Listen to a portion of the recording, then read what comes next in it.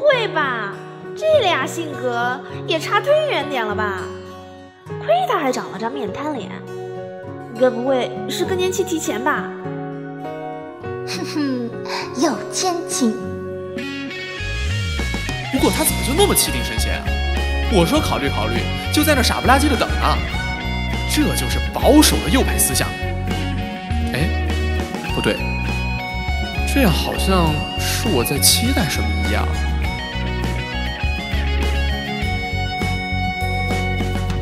一个帅的无边又无际，一个哭得稀里糊涂，故事曲折叫人羡慕。人道主义很有前途，你放纵洒脱，我淡定不住。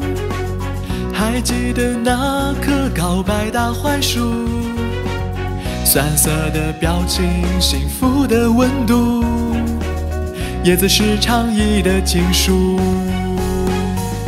老师，老师，我们去哪里呀？狂拽着村上君和小波娜，同学同学，不要再装嫩了，婉转说不出情话。我看看，这小孩网名是叫尼克斯白痴，什么怪名字？现在这孩子，真是……我哪里分清了？哪里分清了？谁说爱情像洪水？完了完了完了完了完了！知道你个混蛋怎么选的地方？就血流如注。靠！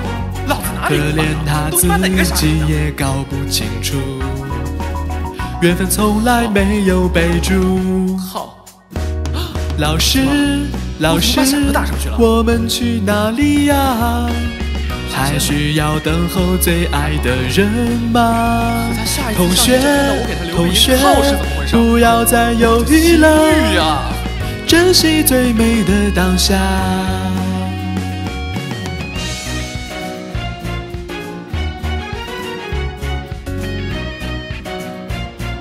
来是这样，知道你个王八蛋，我不就拖了会儿吗？你就跟你妈妥协了？你还是不是同性恋啊你？还是说我不过去晾你点日子，你就没兴趣了？啊，被告白后晾他两个多月，好像是有点久。可可可那又怎么样？还喜欢我很久呢你，亏我还想认真考虑。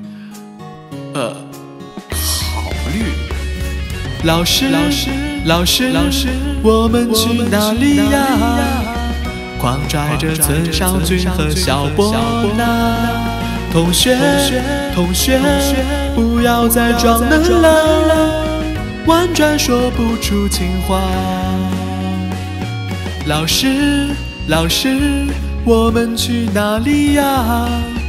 还需要等候最爱的人吗？同学，同学，不要再犹豫了。珍惜最美的当下。我我是打算真的认真考虑。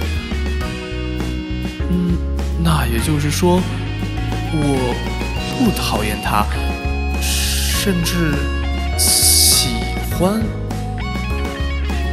谁说我喜欢你了？我我是出于人道主义。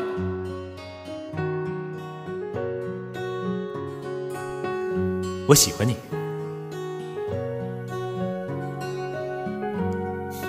张琪。